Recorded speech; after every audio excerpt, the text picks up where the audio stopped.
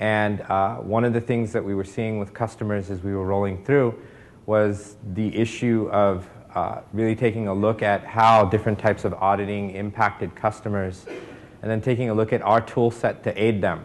And uh, the evolution of where we were at was taking a look at the main product today that we'll talk about, uh, RHN Satellite, um, and uh, how you were able to either correlate some of what the auditor would do in terms of a scan, and, and then either try and produce your own reporting or reporting mechanisms to prove that you were in fact compliant and dealing with the issues of backporting and things like that that we'll talk about today, and coming up with a real solution to be able to uh, remediate or answer what the auditor had happened. So, uh, three years ago, we were really trying to roll our own scripts and coming up with Excel spreadsheets and trying to answer questions.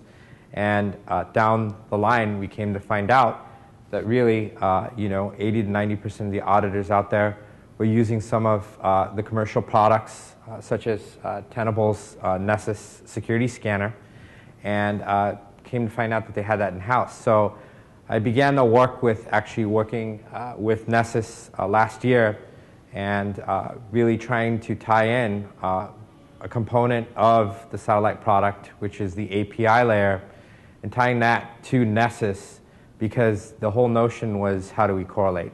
We'll get into that uh, within the presentation here. Um, so, um, I've already made introductions. I'm Akash Chandrasekhar. I'm a solutions architect. I specifically work on the commercial side work with a lot of uh, customers uh, that really deal with the PCI DSS space. And so a lot of uh, information that you'll be getting from me is coming from a PCI DSS type of a spin, because that's the type of work that I deal with. And I'd like to actually go ahead and introduce Lee Kinzer. Uh, yeah, so I do primarily work with uh, the Navy and Marine Corps, so uh, he's kind of got the spin towards PCI. I have the spin towards the STIG policies coming out of DISIC because that's what uh, I'm dealing with most of the time. And then uh, I'd like to go ahead and introduce Jack Daniel. Thank you. Um, I am the, the, technical product manager for Tenable Network Security. Um, uh, my primary job is to uh, speak to folks and, uh, more importantly, listen to folks about uh, the enterprise solutions that we offer. Um, but Nessus is the key component that the company was built on. Uh, the scanner's been around many years now, and it is used by a lot of people and uh, we use that as an integral component of our uh, scanning. And we have been on a crusade to work with uh, companies to integrate so that we can uh, do more with Nessus and with Security Center, but also deliver, uh, you know, synergies. Or it's I'm sorry, it's too early in the morning for words like that, right? Yeah. Uh, but to uh, mutual benefit of ourselves, our companies, and our mutual customers. And I've got to say, working with Red Hat's been a pleasure because we're, uh, we're doing some cool stuff and there's more to come. Indeed. Okay. Um, so uh, I wanted to give sort of an executive summary of, of you know, auditing as a whole. And this year, what we've done is that we've noticed that over the years, uh, customers were really uh, not just interested in PCI DSS, which is the space that I was in, but auditing as a whole. And so what we've done is taken a spin on our slides this time around and really covered um, taking a look at a correlation between all the different types of uh, regulations, if you will, and focusing in on the fact that they all have a common language.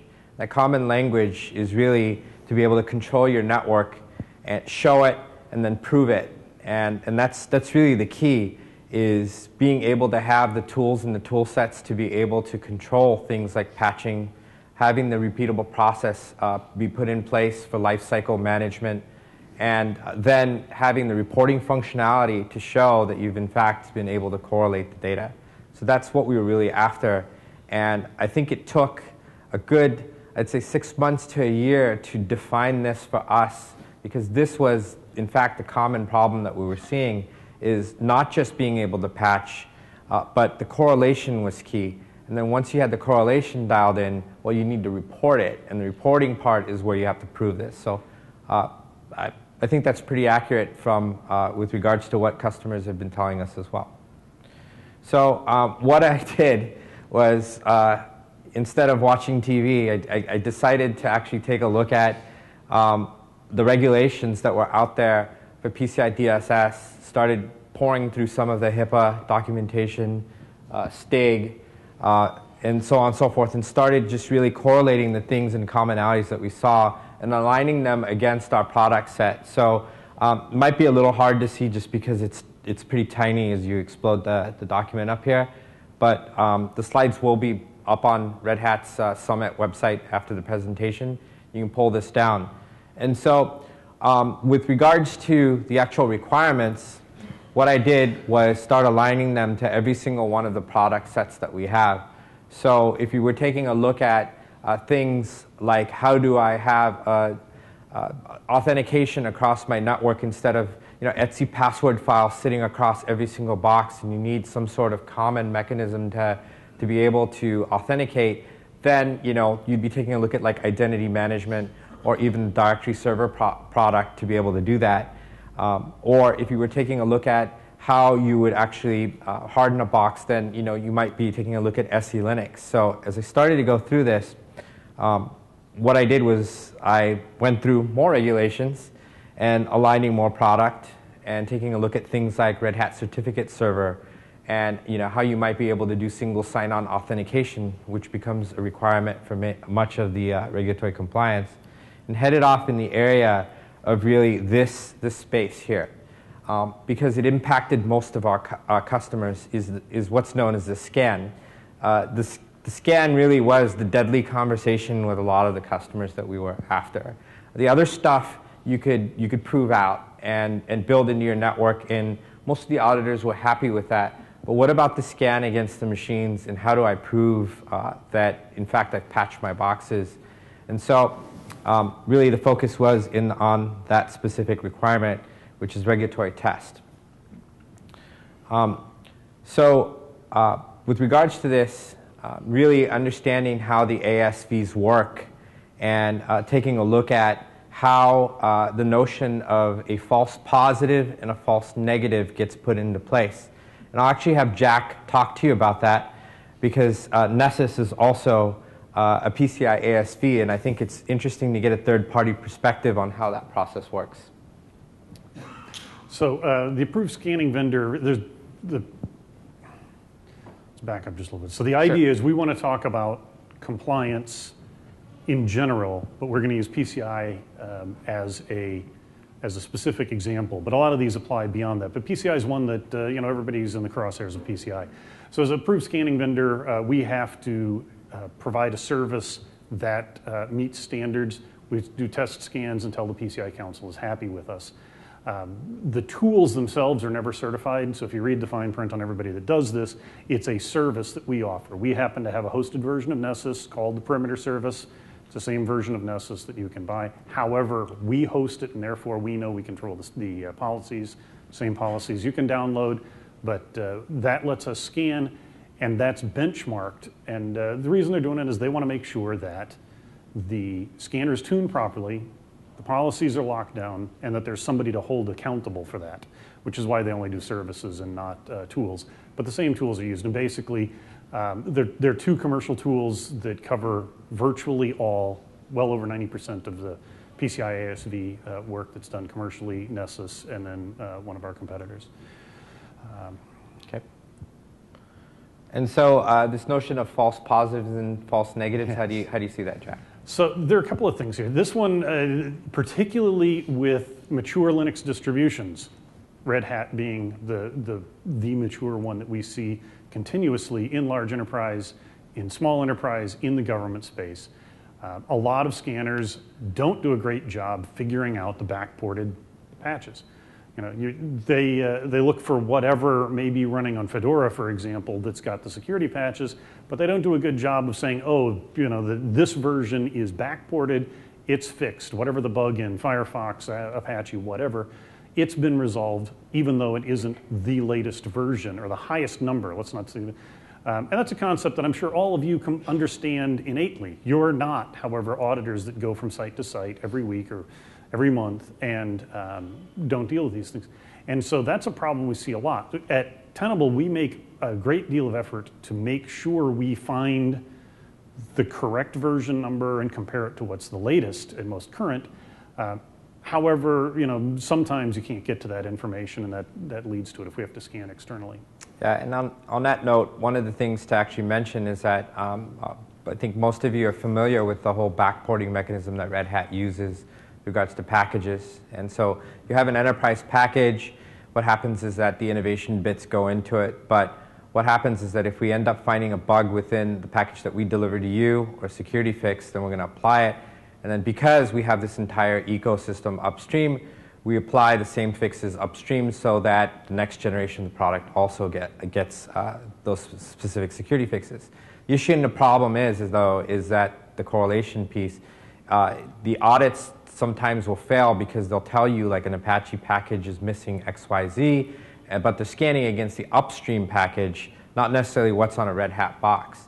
So it becomes incumbent on you at that point then to correlate it by going back on like an RHN satellite box, pulling up the package and pulling up the actual CVE information. You can do that two ways. You can either QA it or it's going to be in the spec file and then all the CVE information the maintainers are, are actually there, right? Uh, but that becomes extremely tedious.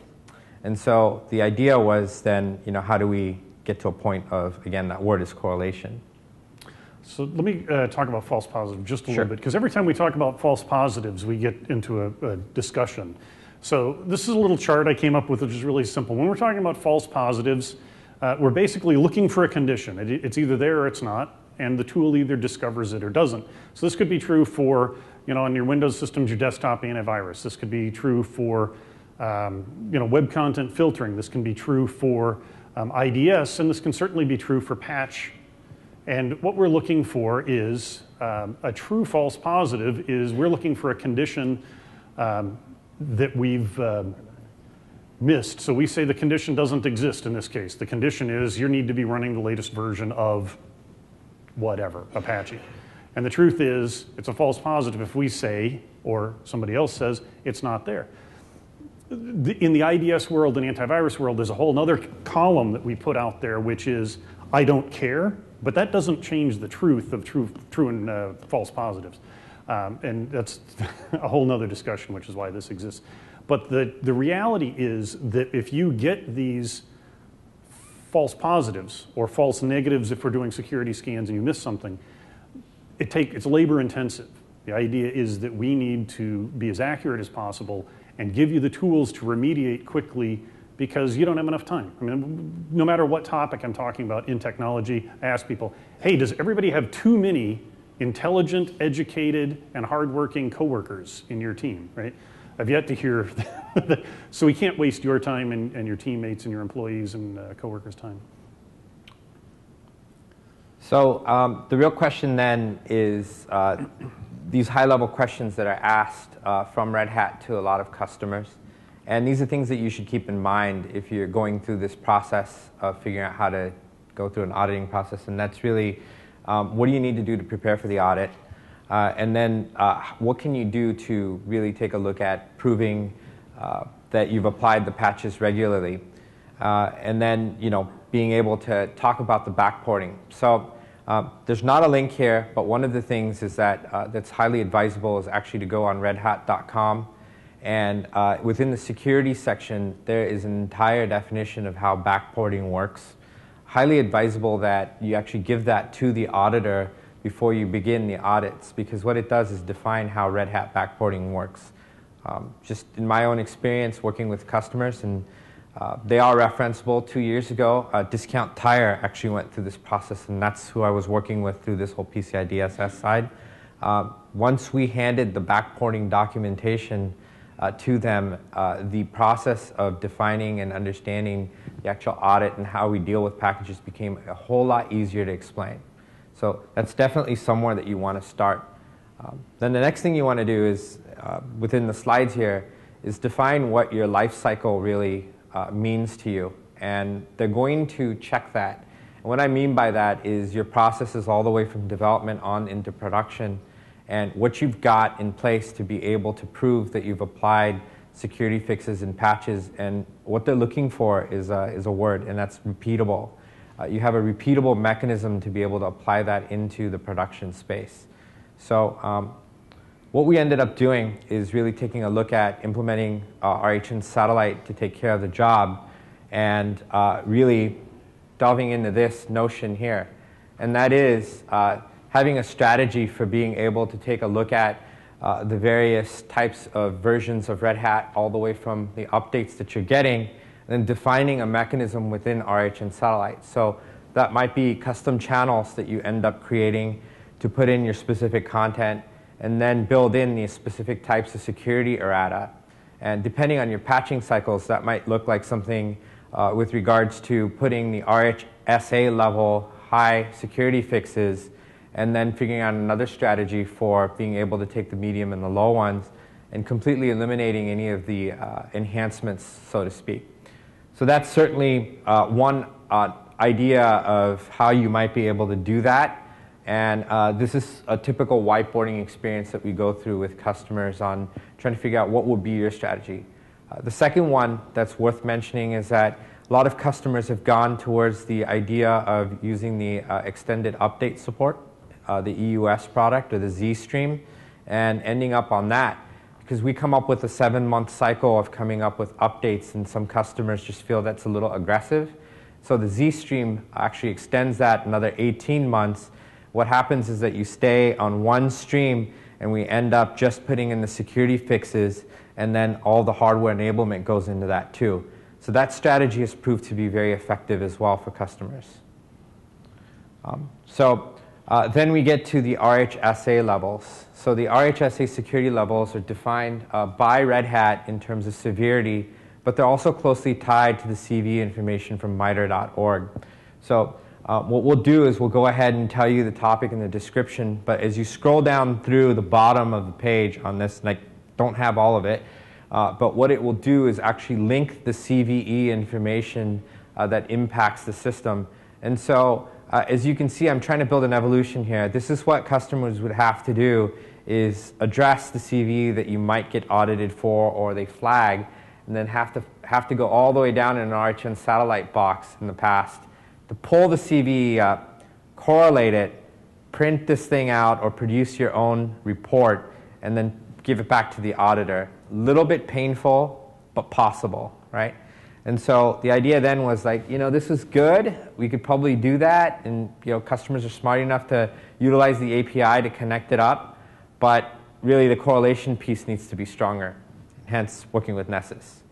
Um, so as you can see, the slide is all about proof, proof, proof. So we were constantly in a state of having to prove that the hosts were indeed scanned properly, then patched, and then obviously uh, coming back with the reporting again.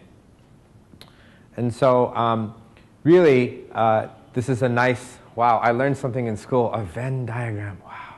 Um, so it was taking a look at the systems that were audited and managed by satellite, and then doing the uh, ongoing correlation and figuring out how that scan uh, results would correlate with what it is that they produced. Um, so then, like I said, uh, a lot of work was done on the back end because the reporting on the front end didn't get the job done. So started focusing in on the API layer, and I put this slide up if you're not familiar with how the APIs work in RHN Satellite. One of the things that you can do is really make an XML RPC call to the back end of Satellite, authenticate as a user, and then uh, what, you can do, what you can do is perform queries against it and produce either your custom reports or have an external tool uh, such as Nessus do that for you. So the work that we began last year was to really focus in on this and connect the two pieces together. And so um, really what Nessus is able to do at this point is connect to uh, the API layer of RHN satellite and do the correlation that way. So we want to give you an engineering perspective of how that was done. Okay? And uh, at this point, uh, really taking a look at, uh, hey, RHN satellite, do you manage the actual system? And then if you do, uh, what packages do you have underneath it? And then with those specific packages, starting to do the correlating work of, okay, I see that you have this. I've scanned for a specific type of package. Uh, it's showing me that you need to remediate it. And then going and having the connecting pieces with RHN satellite to potentially push, uh, push the fix back in, right? And so last year, and this is worth mentioning, uh, we had done some engineering work where the RHN satellite or uh, the Nessus tool was capable of actually pushing out the fix. And I looked out into the crowd and I didn't get happy answers from the fact that no, we never want our security team pushing out anything to, uh, to our boxes. And so, uh, yes, we, it was.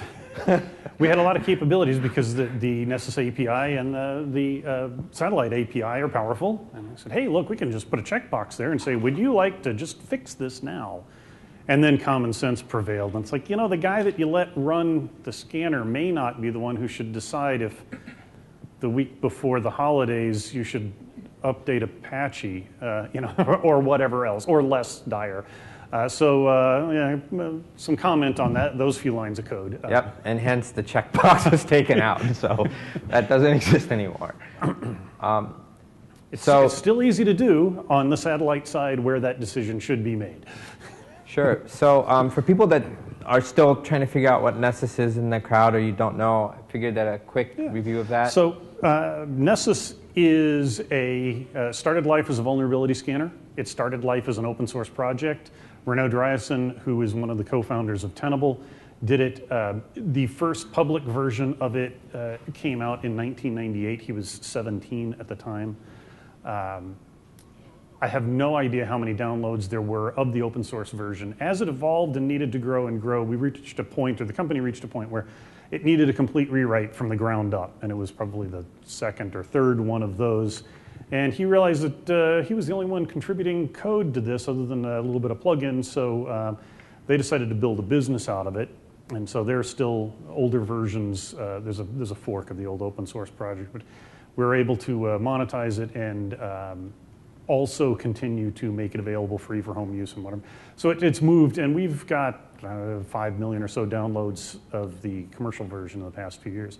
We have uh, about 50,000 plugins, and those are for configuration, for management, for vulnerability detection, for patch detection, and that actually um, hides the number of vulnerabilities that we look for because some of those plugins may have a dozen or more uh, CVEs that they look for. Uh, it is widely used. It is uh, part of our enterprise suite. It's the active scanner used with Security Center, but it's also a standalone tool uh, not a sales pitch, but it, it's a tool. You can throw it on your laptop. Wherever you go, you can scan as many machines as you want. Um, it's relatively inexpensive in the space. Uh, it's used by auditors. It's used by penetration testers. It's used by network engineers. It can be you know, how you validate a lot of different things uh, and scan a lot of different things. But one of the things that's always critical is looking for vulnerabilities and patch status. And we can do a couple of things that you mentioned. They're remote and local vulnerabilities. And this gets into the, the value of, of satellite beyond the, uh, the obvious, which is uh, scanners originally did external scans. You hit the box from the outside, whatever bounced back, we would make assumptions, or didn't, we would make some assumptions based on that. And that would give us the classic external port scan up to external uh, identification scans, figure out what the OS is, figure out what's running and what versions. Uh, we added in the industry, we added the ability to log into the system because obviously if you log in with root level permissions or administrative permissions on whatever OS, we can actually find out the truth about what's running on that box. And so now we can see not just the banner that comes back from a service that's running, but we can look at the package that's installed to the service that's installed. And um, for those of you in enterprise or in government, you may have discovered this. Sometimes you as the security person or you as the scanner or you as the the Red Hat administrator need information about a different system, and whoever runs that team doesn't just like email you the credentials. It's amazing. I don't know why they don't do that. Um, so sometimes getting the credentials to do those things can be tricky. This is where something like satellite comes in handy. If I can get the credentials to satellite, I can scan a segment of the network that I want to know about my Red Hat enterprise. Uh, I want to see what it looks like. Well, let's say some of these are sensitive devices. I can't log in directly. I can get this up to date information. And in the case of some of the others that we integrate with, it's, he- it's heavily limited. So, like Microsoft WSUS, that tells us OS patches only. In the case of satellite, satellite knows all, right? Satellite knows all, so we can do inventory. Uh, and we can also find this patch information. So we get extremely accurate, complete, and concise information without having to solve the problem of logging into that box. That box actually might not even be online at the time. Right. Depends on scans. So maybe you're a green shop, all the machines shut down at certain times. Maybe you know they're behind load balances. Who knows why? Maybe you just can't get at some of those machines. We can fill in those blanks. You can just query satellite, or you can do a, a blended version depending on what they can access. So the idea is um, with compliance is you don't want surprises. The less painful this is, the more often you can do it. That way, when whoever the auditor is, if it's a P, you know, PCI QSA coming in, or whoever it is, maybe it's internal audit, you don't want surprises. So the, uh, the easier this is for you or for whoever's running the scans to get complete, accurate information, solve the problems, then the more likely it is to run these all the time in the surprises.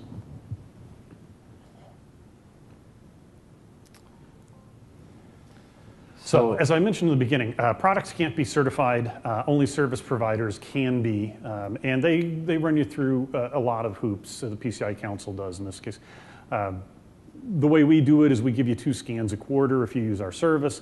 That way, you have a problem. We don't charge you for the second one, uh, but we give you really detailed reports and work with you to solve those problems.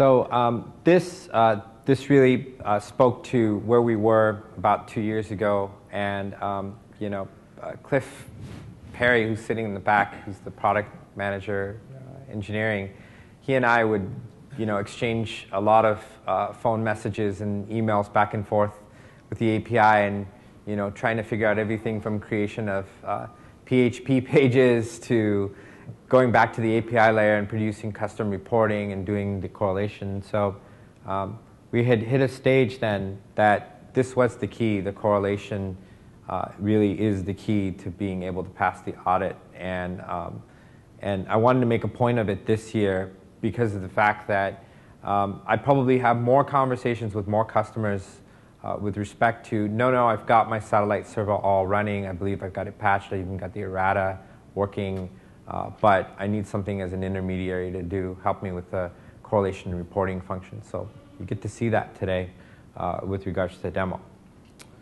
And so, um, and then the next part is that, yeah, that's great that I can correlate. Accurate reporting is necessary because the whole notion of the upstream package scan and then the downstream packages that we provide, uh, that seems to be the pain point for a lot of customers there. And again, um, without you know, taking up too much time, we'll show that in the demo as well. Um, so uh, these are the things that really to take a look at the audit um, and generalize this amongst the customers and have Lee speak about this too in his space is that uh, they want something that's centrally managed and in this case it's RHN Satellite the host is up to date. That seems to be huge. And um, the language, I actually had the opportunity to sit through an audit uh, at Discount Tire and walk through that process for about a month, month and a half, just showing up, listening to what the auditors had to say. And that language came up a lot. And so if you're going through this process, they're going to ask you, um, you know, how do you know that your hosts are up to date? And one of the things is obviously you can show that through RHN satellite. Um, there are some neat components that have been built into the product also with regards to being able to query by date and producing CSV files, so on and so forth, that are all scripted out as part of RHN satellite. Uh, but um, they also want to know that you're patching regularly and have a process for that. So, um, told you that tried to make it shorter this year and not talk my ear off and just show you slides, but we want to get into the demo and uh, Lee uh, actually started working with me this year, but came at an angle from the government space. So maybe you can talk about some of the issues and the problems that you've seen there and uh, how, how you came about wanting to work on this. Right. Yeah. So I worked in the, in the Navy space for about uh, eight and a half years as government contractor and part of that time as civil service. Uh, most of the work that I did was around security. Uh, we were a computer network defense service provider, so everything that, that we did was under a, a, magnifying glass to know exactly what was going on. So it became an issue of constantly having to deal with system scans. And uh, with previous vulnerability assessment tools that I've used, it gets to a point where the number of false positives that you're getting on any report vastly outweigh the number of things that are accurate on the report. So when I heard about the integration between Nessus and Satellite, I was pretty excited to see what that looked like. And from, from working with it and the time that I've been working on this project, I've, I've come to learn that they are pretty accurate when it comes to anything that, that you get as a finding on a system. It is almost always true. I mean, we've identified what maybe two, I think, in the time that we've been working together that, that weren't accurate and were maybe a false positive. Everything else is accurate. It has full knowledge of the Red Hat security advisories that come out. When you see a finding on a system, you can actually go into that, be able to see what RHSA it associates itself with, what CVEs that ties back to, and then links directly out to our stuff so that you can see Bugzillas and everything that are associated with it as well. And the good news is, uh, last year, I think around November or so, DISA decided that they were going to move away. Uh, how many guys in here are public sector defense department? Anyone? Or am I talking to no one here? okay, a couple people. Couple so, hands. Uh, last year, DISA announced that they were going to be moving away from their previous vulnerability scanner and now moving everything over to Nessus. Uh, so when you're looking in a DoD space, for you guys that do work in that sector, uh, pretty soon this is going to be coming down from DISA through their ACAS program to get that deployed out and have everyone running on that uh, instead of the, the current vulnerability assessment tool. So right. it's coming right. pretty soon. So it's the, it's the uh, enterprise suite, which is security center, so you're not managing individual scanners. It's, uh, but it's Nessus is the engine and it also includes the passive uh, tool, which is not what we're talking about here, but that's uh, another interesting part of what we do. So, yeah. Gotcha. All right, so anything else? We can go ahead and jump into the demo. Yeah. And before we do that, I just wanted to kind of point out uh, a couple things. One, um, two of the key benefits that I, I want to try and show and display while we're going through the demo, and then also a little bit of, of how the, the lab environment is set up that we're going to be running everything on. Uh, so the first two key points are some of the ones that Jack brought up earlier. Uh, the ability to do scans without having to have credentials on the end system. So we don't have to have a username and password to access a system that maybe the system administrator doesn't want us getting into. Uh, and a side effect of that is that we don't have to log into that box so we don't have to touch that box, meaning it doesn't have to be online. If you're auditing user workstations that might be turned off at night, or if you've got a remote facility that might not be connected whenever you need it to, if you're working in a DoD space like I am, maybe it's on a ship and that ship has intermittent connectivity, and normally you would have to schedule all of this out with whoever that remote facility is to get this done during the time that you need to run your vulnerability assessments. Now that we've got the integration with satellite, the queries come from Nessus directly to the satellite. It gets a full package list of what's on the system, generates the report from that, and you don't have to deal with scheduling all of that out with the other parties. And then we'll talk a little bit about how the lab is set up here. So basically what we have are, are three different laptops uh, running the demo. All of them are running RHEL 6.2. One's dedicated as a Nessus security scanner. One's designated as the uh, satellite server. And then we've got one that's a virtual host that has five different VMs inside of it we're going to be using to mock this up. So we've got two DNS servers, two web servers, and a management workstation uh, that we'll be kind of using and managing inside a satellite and then auditing those systems with the Nessus tool. So with that, let's go ahead and get logged into Nessus.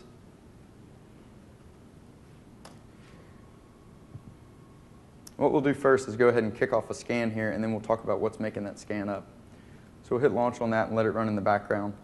So for any scan, the first thing that you have to do before you can actually run it is build a policy that talks about what that scan is actually going to check. So this policy here is pretty generic. The big thing that changed in here is that we've disabled everything in this section under port scanners. So there's no TCP or UDP connections going out to the system that we might have to wait on to time out uh, if we're going to be scanning something that may be offline. That gets into whether or not it's a mixed type of environment or a mixed type of scan or not. You know, if you're going to be doing a network scan like Jack was talking about earlier, you'd obviously have to leave this stuff enabled. But if you're strictly doing a vulnerability assessment on package revision numbers, you can uncheck all of this so that connectivity out to the box actually isn't necessary.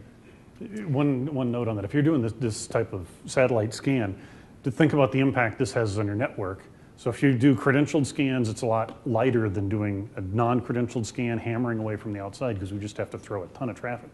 Credentialed scans are a lot lighter. If we come back one more step, and instead of asking 1,000 machines on your network or even 10 machines on your network, uh, querying them, I'm just going to ask the satellite server. And uh, you know, again, because it's satellite, we have a, a extremely high confidence in what we see. However, the auditor is not going to trust satellite. They want the third-party validation. Correct. Yep, so and here we have the credentials where you would set that if you were going to be doing a credential direct scan and not going through satellite. But as you can see here, we don't have anything entered, no username or password used there. And then if we head down to plugins, this is going to show us all the different type of vulnerabilities that you can uh, check the system for to see if it's compliant with any of these. If we hit this checkbox down here, we can see just the ones that we've got applied here.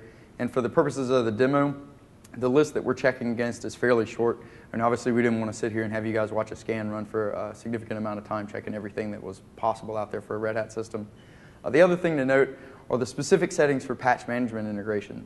So these settings pull additional information about each one of the systems that we're checking. Uh, information like what packages are installed on it so that your auditors can get a full list of every piece of software and every version uh, installed on that system and then be able to compare it between reports. So if you pull a, a report on a system uh, prior to an update and then after the update, you can compare those two and see what's different between them.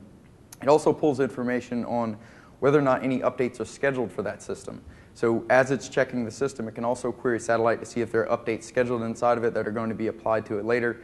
It gives the auditor a bit of situational awareness to know that maybe the scan that he's pulling right now won't be accurate in 30 minutes to an hour away from now when this next update is applied that the system administrator already has, already has scheduled. And he doesn't have, have to have access directly into satellite to be able to see that. On the preferences side here is where we actually enable this integration in with satellite. So we just scroll down here and hit the patch management section for RHN Satellite. All you have to do is give it a username and password that has access to the systems that you're trying to audit.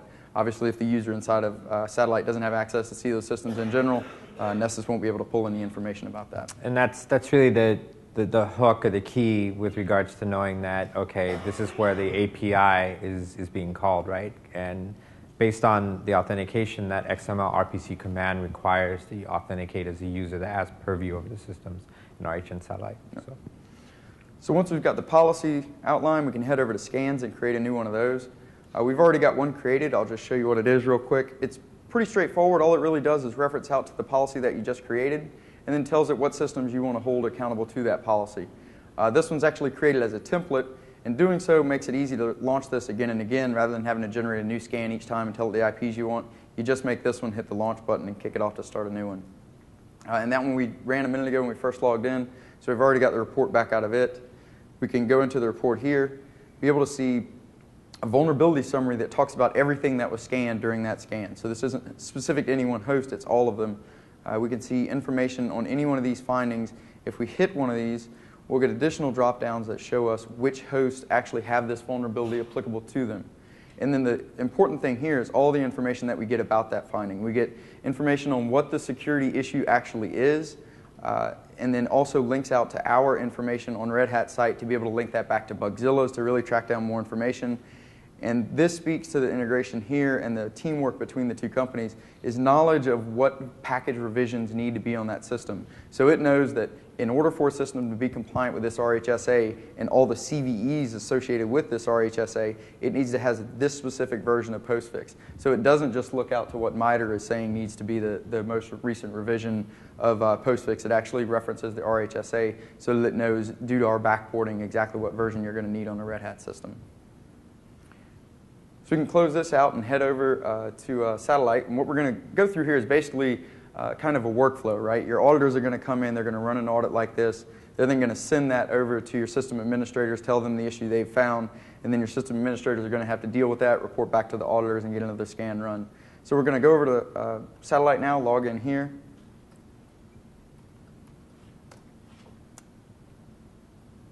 I was hoping we were going to log in there.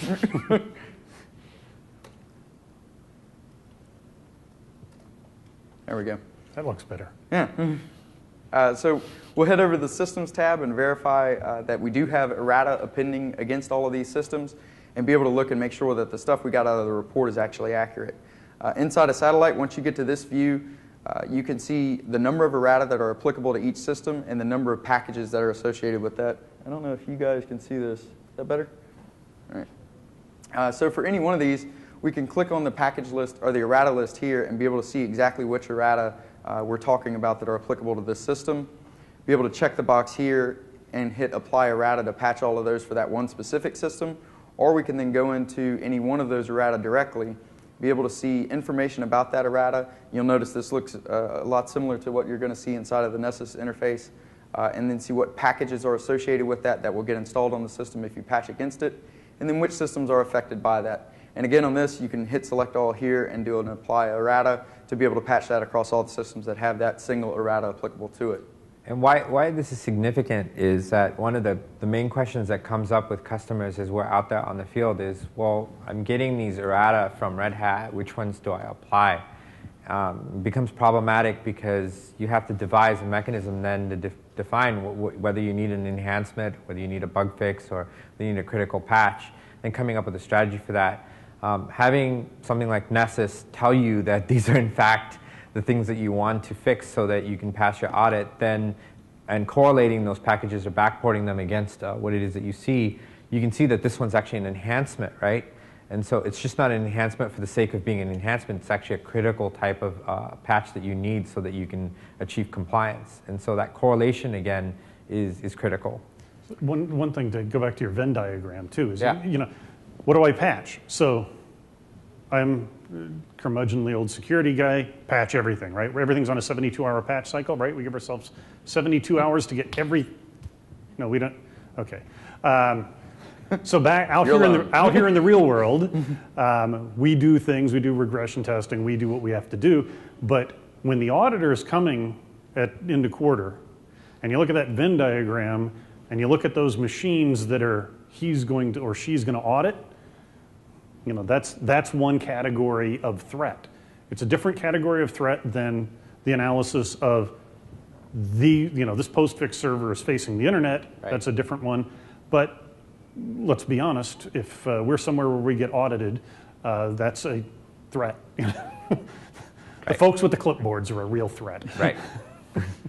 And so, as he was talking to the, the difference between uh, enhancements and security findings, we can get all that information also. If we go over and hit the errata tab up here, we'll see every errata that was uh, found inside of the systems that are being managed by satellite uh, with different types shown for each one of them.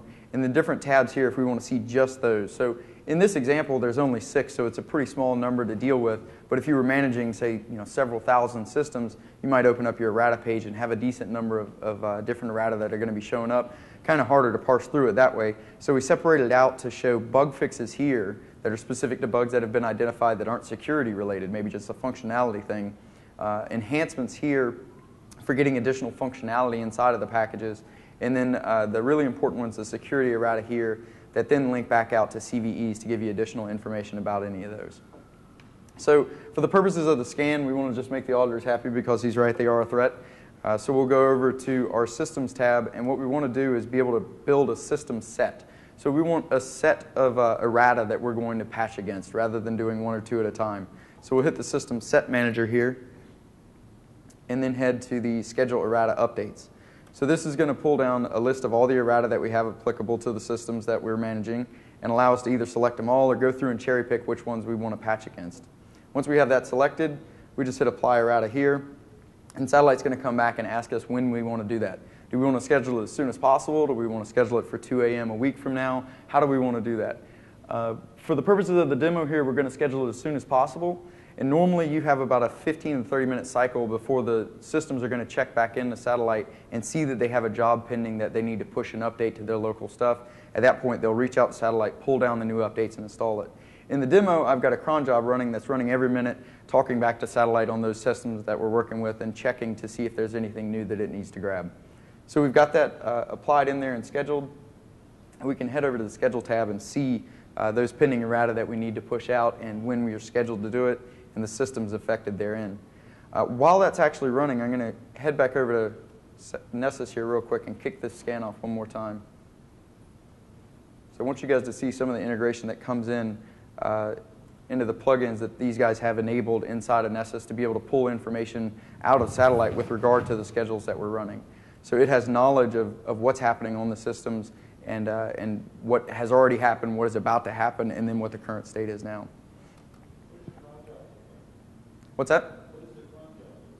Uh, the command is rhn check. Uh, so that just has it check back out to the to the RHN server, and that's the same And- thing that it runs all the time. And there's, uh, on anyone. there's some additional functionality too. If uh, have you played with OSAD at all and tried to install the OSAD plugin? Because the OSAD plugin will will also let you do uh, the immediate pushouts as well if you enable that, and you don't have to deal with the cron job. But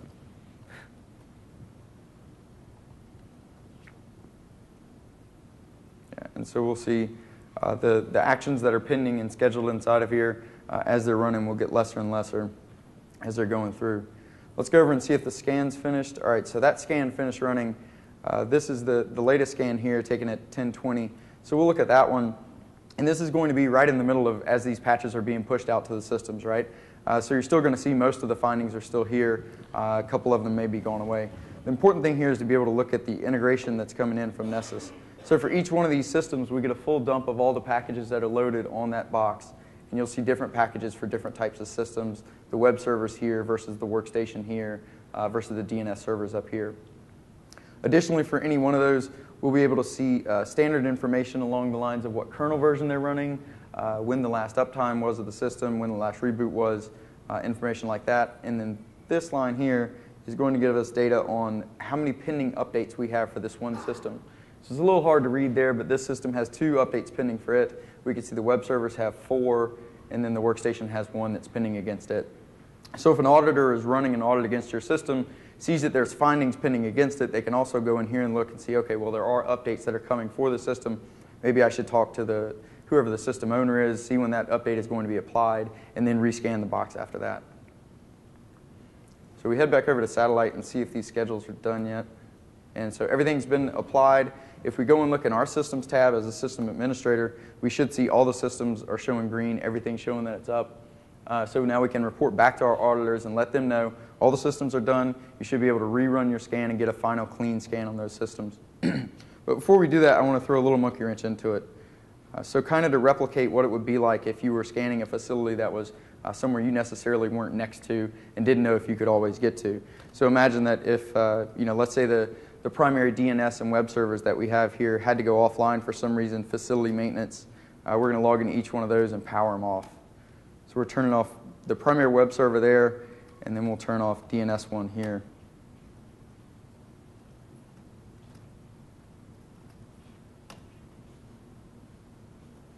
We got a little check running over here just to see when these start failing. So we see that Web 1's failed now. It's not responding to the ping test. And then uh, NS1 will probably do the same thing here momentarily. So now that we know both of those two systems are off, we're still going to let our auditor go ahead with his job. It's his job is scanning these systems, assessing the vulnerabilities. We're not going to stand in his way and try to stop him. So we'll go ahead and launch that. And again, what it's doing, not talking directly to the systems, there's no credentials on it. So it's going to communicate out to satellite, ask satellite what the status of everything is, and then pull that back into the report that we're going to have at the end, which will hopefully be a clean system report. One thing to note here, it gives you status on how many systems it's scanning and if it's done you know, three or five or any of those. Right now it's still pulling information down from satellite to be able to generate the reports.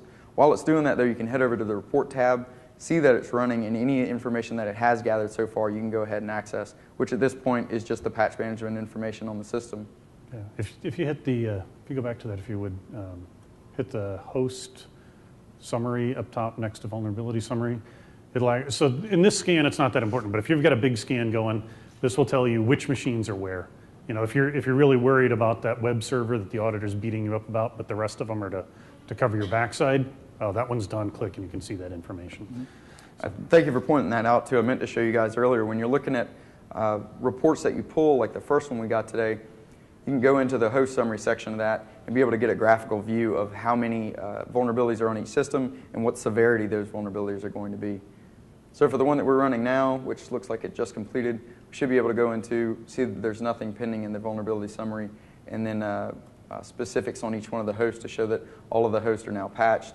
You could go into any one of these hosts if you wanted to, uh, pull the additional information from it on uh, the number of or the, the list of packages that is in here so that if your security auditors wanted to know, you know what packages did you upgrade to get rid of the findings that were on the system, they can pull that information from here and be able to compare them between the two. So again, the, the two big things that I see with it, guys, being able to audit systems without having credentials to it and being able to audit systems that may be offline uh, when you're trying to run your vulnerability assessment. There you go. Very good. Thank you. Cool stuff. Questions? Yes. Did you create the user for the next deployment of satellites? Yeah, we use the, the regular admin user that's created inside of uh, satellites, kind of like the global user that can see everything. But you could create a specific user for a group of systems if you wanted uh, your Nessus security tool to only be able to see those systems. Uh, when it authenticates against the Nessus or it authenticates against the satellite server, it's only going to be able to see those systems that it has access to. And there's some strategies around that. The, the question came up last year as well. Um, and uh, even taking a look at just your PCI DSS based systems or uh, the ones that are being audited and putting them into another organization because satellite supports multiple organizations is a strategy that you could use. At that point, the administrator that would be against that administration would only have purview over those systems. And at that point, Nessus would do the same thing because it's authenticating against that user. That user is inside an organization, and they can only see those specific systems underneath it. So. Yep. I have uh, auto uh, application errata checks under uh, uh, I think days in. Is there a way to schedule that? Could, could you hear that? I couldn't Yeah. quite make it out. The, the question was with auto errata being turned on. Is that correct? Okay. And and uh, what happens is that you go through and apply it, and then it takes days. How many systems are we talking about? First of all, fifteen systems. That's a hmm. That, w- create, what's the ticket number associated with that one? That is that is definitely not the way that it should be. I mean, they should be checking in pretty frequently with the satellite server. Oh, uh, there is uh, something that I, that has come to mind. The RHNSD. Uh, yeah, uh, is that daemon running? the daemon running, and if not, you need to enable that as a client on the systems because the remote execution commands may not be working for you. Do you- so do you know if that is or is not enabled? Okay, yeah, that, that would that would That definitely would do it. Yeah. yeah, so that's the daemon that checks in periodically with us and lets us know what's going on. That also will provide updates. Uh, and one thing we didn't do in this because we were providing the updates through the satellite interface. If you were to go on a system locally and apply patches directly on it, uh, that would also get reported back to satellite the next time that the system checked in with RHNSD. I think I think it's called RHN CFG actions is the is the package that you need for remote execution commands. And then it starts working. At least off the top of my head, I, that's what I remember. Um, there's a question back there. Yes. Uh, I have a couple questions on Nessus. Uh, Does it work with uh, systems that are not tied into satellite? Yeah, um, it will need credentials to log into those devices. So obviously, if satellite doesn't know, it can't tell you. And those, um, those can be, you know, key exchange. It can be privilege escalation if you don't allow root, you know, hopefully directly. But yeah, you can certainly scan. Um, and depending on your environment, um, you can use an audit file. That, that we have some pre-built audit files depending on what you're auditing against. You can write your own audit files. Um, you know, on the, the repeatable, one of the things we recommend but doesn't get a lot of, if you are, for example, worried about PCI and HIPAA, you can take the two audit files, which are human readable text, merge the two of them and run that one regularly, and then run the PCI specific one before the auditor comes, run the HIPAA specific one before you do that audit. So that, that you can do with Nessus or with Security Center. With Security Center, it's a little easier if you're in a larger environment because we can manage lots of credentials and lots of policies and do the reporting.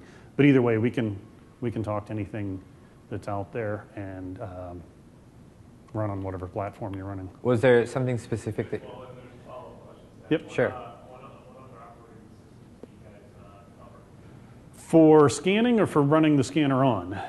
for scanning for PCI compliance? Um, for PCI, uh, anything that you're likely to have in PCI scope. So Windows, Macintosh, uh, most flavors of Linux. We have scans. I don't think we have PCI specific scans for you know iSeries, AS, you know legacy stuff.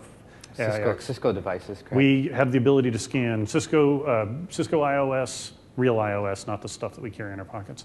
Um, Junos. Uh, we can, you know, do do a lot of things. It does database. There are a lot of things. If you want, I'll give you a card and ping and get you hooked up with an eval or something. But it can talk to a lot of things. It can run on a lot of systems as well. So whatever whatever OS you're running, uh, we can probably run on. I'm, I'm actually quite interested in the, the crowd that we have here with regards to the type of compliance that you're actually trying to uh, deal with. Uh, most of the crowd PCI DSS, and if I could get a, okay, PCI DSS back there. Okay, good number of people. And then HIPAA. Okay, wow, That's, that number is increasing yearly, I, I notice. Uh, A lot, a lot of the same hands too. Yeah. Isn't that fun? uh, STIG. Yeah. Okay. What the heck? We got to send more government people, guys. More government people. Uh, Sarbanes Only Oxley. three of us. Oh, look at all the Sarbanes pop. Yeah. Yeah, that's the one, right? Okay. Um, so we'd like some feedback every year. We kind of go through this, and um, I think next year it's going to be a little bit broader, uh, including some of the NASA stuff. We're thinking of actually expanding into some of the I- identity management components as well. Um, but you know, what are you what are you folks interested in? Did you find the, uh, the the the presentation useful? Was there something that you were looking for that you didn't know about? Is there anything else you want to see now? Yeah. We got time. Yes. Does it do any check the configuration files through satellite? Uh, so yeah, under the, the configuration channels here, you can go in and, and specify a specific uh, channel that you'd like to create, and then you basically add configuration files into it. Uh, so you generate the files that you want, put it in there, and then subscribe systems to those configuration channels, and then they will automatically get all the files that are in that channel, and it will maintain them. So if someone comes on, changes it, the next time RHNSD checks in, it'll, it'll put it back. But do you have to check that one through satellite, nec- doesn't necessarily notice the configuration file? Unless it were a configuration file that was associated with a, with, an- a with, security with, a, audit. with a known vulnerability with a patch. So if there's a RHSA, if there's a bulletin on it, then um, you know we're gonna we're gonna address that. If not, we don't know about it. However, depending on how that looks on the system, uh, we might be able to uh, audit for that configuration. Although that that With a depends. custom, yeah, with a custom with, with custom audit. I Well, think- and then there's also Yeah. there's audit policies that come out for um, uh, from the guys over at Yeah, so- Tenable so for we different security. We generate policies. audit policies. You can generate your, we generate audit policies. We have a machine, uh, you know, an application that does the, the DoD stuff that, you know, takes this blob they give you and turns it into something we can deal with and fires it back out. We also have standards from, you know, NIST and Cisco's policies or recommended policies and uh, IBM's I-Series recommended security policies. So we have a lot of audit policies, and that's where we get into the, the different types of audit. You know, there's and compliance. There's externally imposed compliance, Right. and internally. And so compliance, we all kind of sneer at because it's a pain for us. But you know, the I, I want our systems built this way uh, because that's what works in our environment is compliance too. So we can tune or you can write clean uh, policies to match that. Was your question more related to like IDS intrusion detection? What happens if a configuration file changes? Is that More related just to making sure that your machine's configured the right way in the first place. okay? Yep. But that's all passed, it doesn't really do much. Right. Right. So uh, a lot of the implementations that I see in, in at least in the DoD space uh, for satellite will have um, templating done for Kickstart files. So there's a templating engine built inside a satellite that allows you to basically uh, through the GUI be able to draw out what you want a system to look like when you initially build it, at least from a package and general configuration standpoint. And then uh, usually they'll start kicking in more and more configuration files inside of that that are specific to their environment. Um, one project that Akash and I are both also working on is, is called Aqueduct, which is uh, basically an open source project that has a bunch of contributors from systems integrators to a couple guys at Red Hat, uh, and then some government people that are working on it as well, that basically automates the process of uh, getting a system in compliance with PCI or STIG or HIPAA compliancy or any of that. Uh, so what I've been seeing more in mine is that they're using Aqueduct to handle uh, the automation of the security configuration directly, and then using configuration channels for things that are specific to the site. You know, maybe an Etsy password file or, or, or some Right. other configuration that they have, uh, or maybe you know they're running a bank of DNS servers and they have their all their DNS server files are held inside of configuration channels. Because if you get into to trying to do all of the compliance and configuration channels, that's a lot of files that you'd have to be managing inside of that one place. And the nice thing is, if you need to change it everywhere, you only change it once. But doing that initial uh, build of all of those can be tedious. Could you flip back to the slide deck? I just want to show one one thing quickly. Wait, And I think there was another question. Yeah. They're already in there. If you're updating, they've been in there for months. Um, so just very quickly, if you advance through a couple of, right, we have a couple of screenshots. If so, for the the DoD folks and anybody that's using Security Center, Security Center is the central management tool. It's the it's the console we interact with for all of Tenable's enterprise pieces, starting with Nessus. Just if we quickly zip through, that policy creation looks pretty much the same. Policy creation uh, looks pretty much the same. We go through the same things. We go again. Uh, and here's where it gets interesting. So the results look very similar. But one of the things that we do in Security Center is we keep track because every scan is not a separate file. If you look in the bottom, I show that uh, on one of the previous examples when Lee and I were working, uh, he found a Firefox vulnerability that's shown in that top one. In a later scan, it wasn't there anymore. So if you looked at the later scan, all you saw was the green. But down there in the bottom, I highlighted, we actually show you the ones in Security Center that have been mitigated. So we can actually say yet another way to, to bring that up. But that requires the, the database backend to keep tabs across them. So it looks pretty much the same. You run through it all. But when you go looking through results up on the top, you say all new or mitigated. And we can, you know, if the auditor wants to see it, dong, here, here's what got fixed and when. That's nice. It does the delta for you. Then you don't have to do the manual comparison. You don't have to do the compares. fixed. And are we doing on time? Where are we? I think we're right at time. It's Yeah. uh, 10:48 now. So Great. Anybody have any other be kicking us questions? out And if you do, you, you're free to you know Yeah. come up to us, and we'll be happy to answer them.